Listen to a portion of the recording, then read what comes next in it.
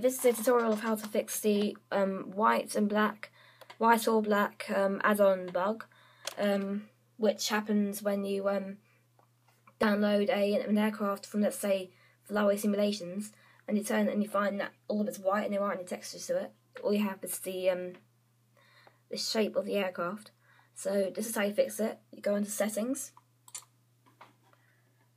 Customize, and there's um, a box here which is ticked and it's called Preview DirectX 10. You want to turn it off because most add-ons are completely uncompatible with this. So um, if you turn it off, um, it will enable the um, textures for your um, add-ons. So if you press OK, it says here that you must restart your flight simulator before some of the changes um, you made can take effect.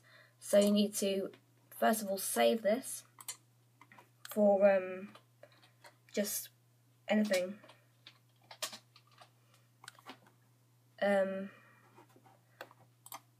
close FSX and then restart.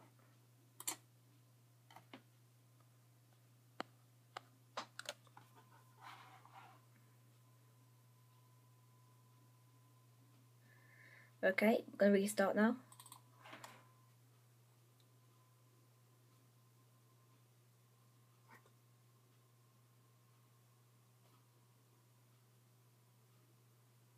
Okay, now we need to go to, well, basically go on a free flight, um, select an add-on aircraft to test it works. I'm going to use the same one, the Eurocopter EC120. Let's scroll down and find it.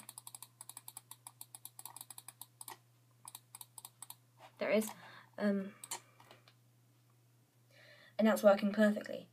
Um, I hope this has helped because um, I'm sure a lot of people go through this because um, most people turn Preview Direct on without knowing what it is. So um, thank you for watching. I hope this has helped.